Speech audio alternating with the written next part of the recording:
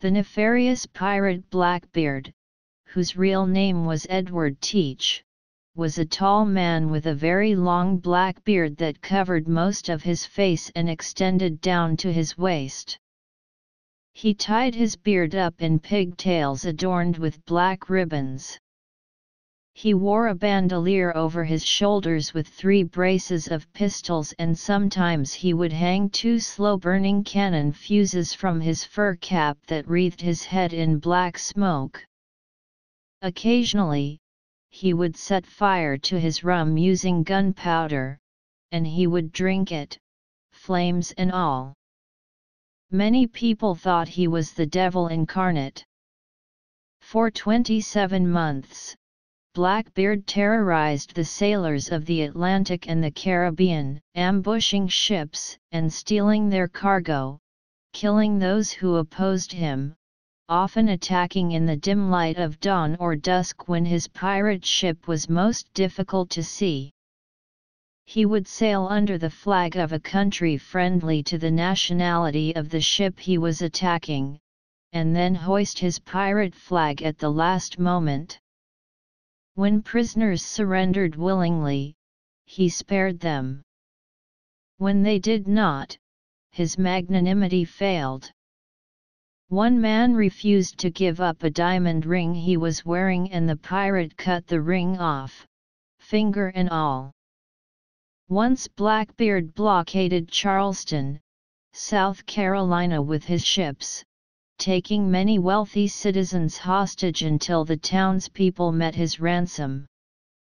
Later, Blackbeard ran one of his ships, the Queen Anne's Revenge, aground. Some say he did it on purpose because he wanted to break up the pirate fleet and steal the booty for himself. In November of 1718, Blackbeard retreated to his favorite hideaway called Teach's Hole off Ocracoke Island. There, he hosted a wild pirate party with drinking, dancing and large bonfires. The party lasted for days, and several North Carolina citizens sent word to Governor Alexander Spotswood of Virginia. Governor Spotswood immediately ordered two sloops, commanded by Lieutenant Robert Maynard of the Royal Navy, to go to Ocracoke and capture the pirate. On November 21, 1718, Maynard engaged Blackbeard in a terrible battle. One of Maynard's ships were between Blackbeard and Freedom. Blackbeard sailed his ship, the Adventure, in towards shore.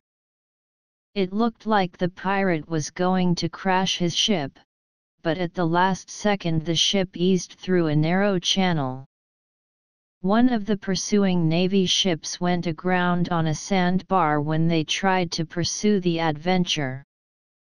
Blackbeard fired his cannons at the remaining ship and many of Maynard's men were killed.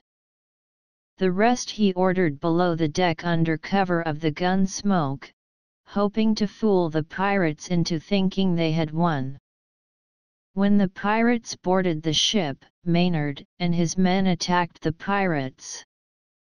Outnumbered, the pirates put up a bloody fight. Blackbeard and Maynard came face to face. They both shot at each other. Blackbeard's shot missed Maynard, but Maynard's bullet hit the pirate. Blackbeard swung his cutlass and managed to snap off Maynard's sword blade near the hilt. As Blackbeard prepared to deliver the death blow, one of Maynard's men cut Blackbeard's throat from behind. Blackbeard's blow missed its mark, barely skinning Maynard's knuckles. Infuriated, Blackbeard fought on as the blood spouted from his neck. Maynard and his men rushed the pirate. It took a total of five gunshots and about twenty cuts before Blackbeard fell down dead. Maynard seemed to think that the only way to ensure that Blackbeard was dead was to remove his head. They hung the head from the bowsprit and threw the pirate's body overboard. As the body hit the water, the head hanging from the bowsprit shouted, Come on Edward and the headless body swam three times around the ship before sinking to the bottom. From that day to this, Blackbeard's ghost has haunted Teach's hole, forever searching for his missing head. Sometimes, the headless ghost floats on the surface of the water, or swims around and around and around Teach's hole, glowing just underneath the water. Sometimes, folks see a strange light coming from the shore on the Pamlico Sound side of Ocracoke Island and know that it is Teach's light.